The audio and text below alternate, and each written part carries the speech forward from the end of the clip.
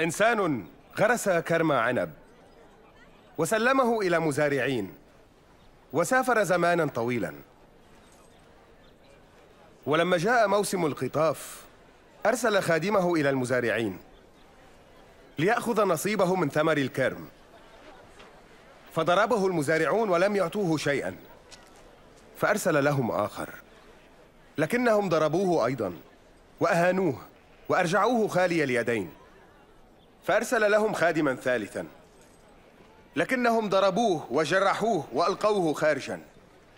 فقال صاحب الكرم ماذا أفعل؟ أرسل ابني الحبيب فلا بد سيحترمون ابني. لكنهم لما رأوه تآمروا معا قائلين هذا هو الوريث لنقتله فيصير الميراث لنا.